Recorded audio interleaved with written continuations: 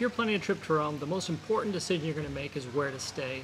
And this video is not necessarily going to show you where to stay. It's going to show you a couple of popular places I think you should avoid staying at. And uh, I've got other videos that kind of narrow down or give you some suggestions of where to stay. But in this video, I'm going to be talking about a couple of locations in Rome that I think you should avoid staying at. Um, it's important to pick a great location where you're going to stay. To me, a great location is a place that I look forward to waking up in the morning, a place that I look forward to going home to at night, a place that's well connected, that I can get around. I'm not reliant solely on buses or trains or metro. Um, I can walk to several places. And that's a place that is super desirable to me. And a place where I can, you know, feel like part of the culture of Rome and not just a tourist. And then also, you know, have those nice, lot of dining options nearby and whatnot. Because when you go to Rome, you want to not just see sights, you want to experience the culture, you want to enjoy the food, and um, location is very important to where you, you know, where you choose to go. So having said that, I'm going to share with you a couple of locations I think you should avoid, even though they're fairly popular. So here's a map of Rome. You can look at this here. Um, this is kind of the central area of Rome. For example, over here in this corner right here, that is the, um, the train station right here. Okay, and just down from the train station, you've got the Colosseum, which is down here in this angle. And then this area neighborhood here is called the Monti neighborhood. Um, Victor Emmanuel Monument is right here. Okay, you can kind of see that. And then the Campidoglio is just right here behind Victor Emmanuel Monument. That's a pretty important site. Then you've got the uh, Torre di Argentina, which is right here. This is where Julius Caesar was murdered. Then over here you have Piazza Navona, you might recognize this building right here. This is the Pantheon right there, the Pantheon.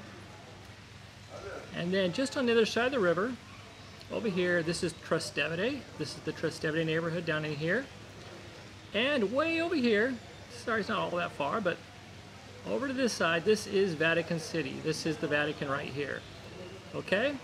That kind of gives you a little bit of perspective of where we're at in Rome. This is I mean, Rome is a huge city. It's got, you know, three, four million people living here, and there's lots of neighborhoods to choose from, but most people are going to come and stay in what they you'd consider the center of Rome. But because Rome is such a big city, just staying in the center is really not good enough. Um,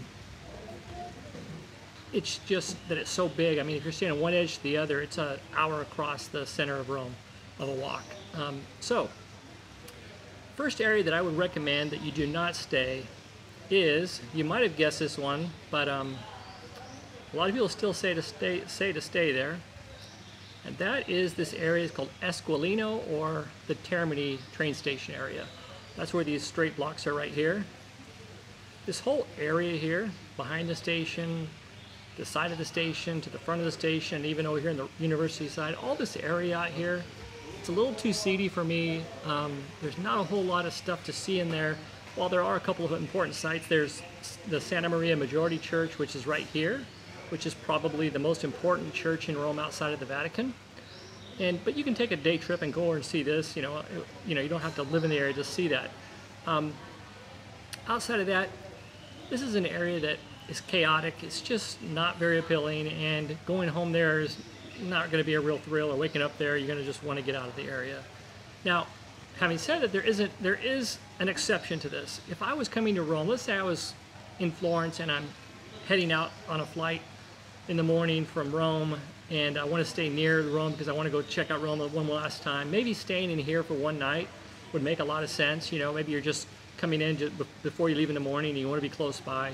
Um, you can certainly do that, and that would make sense in that scenario. But if you're going to stay in Rome for two, three, four days or more, I really suggest you get away from the, the uh, Termini area. You don't have to get all that far away for it to improve drastically. For example, you can just head up over into this area, which is the Monti neighborhood, and it improves quite a bit. It's a little bit more expensive, and so if it's not in your budget to stay over here and you want to stay somewhere uh, a little less expensive, I do have an option for you. This is not a video on that. I'm going to be doing a more extensive video about this, but you can go over to the Testaccio area, which is actually a neighborhood right down here. It's connected by metro. Um, it's this area right here. What's nice about Testaccio is there's lots of nice dining options. It has a real nice piazza here, little park area. It's a family neighborhood. Um, you don't feel like a tourist in this neighborhood. It, it gives you a real nice, what it really feel likes to be, you know, to be in Italy, and, and you don't feel, you know, it's not very impacted by tourism at this. And you know, it's not super well connected. You're going to need to take the metro or buses, or you're going to have to walk some from here. So, but it's an option, and it is uh, quite a bit less expensive to stay over here than it is in some of the other areas, while you still maintain some of the main things. It's a nice area to come back to. Um, lots of good dining options right there, and the metro is not too far. The metro, you can hop on a metro just right over here at the Pyramid Station, and it may be, you know, maybe a 10 or 15 minute walk depending where you're staying at over here. That's just an option for that. So the first place I'd avoid is the uh, right here by the uh, station. Now the second place I'm going to suggest you do not stay. This may be a little more controversial. It is a good area. It's safe area. Um, and it's not a bad place to come home to at night. Don't get me wrong. This doesn't really meet that criteria. But what I reason I don't want to stay here is I feel it's not very well connected, and it's not very walkable. So that is the area out by the Vatican. So the Vatican is right here. And this area out here is called Prati area, the neighborhood. And there's a couple of metro stops in here that you can connect the city with. But being out here, you're going to be reliant on the metro to really connect yourself. There's not a whole lot out here other than the Vatican. There's restaurants and stuff, but it's just not the sites. I mean, you're going to have to come across the river here to see most of the sites. It's just not that well connected. Uh, there was a time I stayed out here for, I think, four nights and it was during the G20 summit, and I didn't realize that, and they shut down the entire city, including as far as public transportation. There was no metro, there was no bus, and we had to walk everywhere, and we walked like 30,000 plus steps those days that this was shut down. So it made it inconvenient, and the G20 summit doesn't happen all the time, so it's not something you really have to worry about, but they do, Romans have been known to have strikes on the metro, they've been known to have construction, so it's not foolproof that the metro is going to be running all the time. Sometimes I'd say 95% of the time it's no problem, but you're going to be there 5% of the time, you're going to have problems on the metro. And I just don't want to be connected or stranded on this side of the town uh, without public transportation. And even if it was running, I still think it's just it's just not walkable enough to some of the sites. Now, staying in some of these other areas, well, you're not going to walk to everything. You're going to have to take buses and, and, and and public transportation to get to certain sites, but many sites are within walking distance, and that's kind of what I like. Now, in another video, I'm going to be going over this area here called, this is kind of the hub of what I think is the ideal location in all of Rome.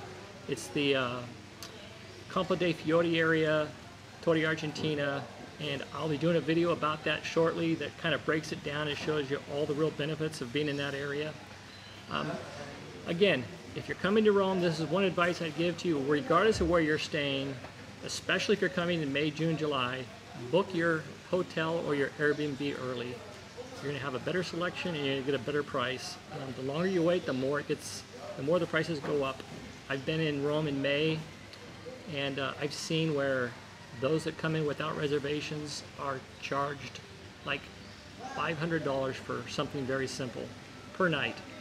And uh, it's not cheap in May, don't get me wrong, but you can certainly find a doable, you know, if you book in advance, something between 100 to 175 should do just fine for a little one bedroom Airbnb or even a hotel for that price. Um, again, it jumps up if you wait, so that'd be some advice I'd give you. Now, last thing I'd say is if you're new to my channel, my channel is all about Rome, trying to make your experience in Rome the best it can be, so consider subscribing.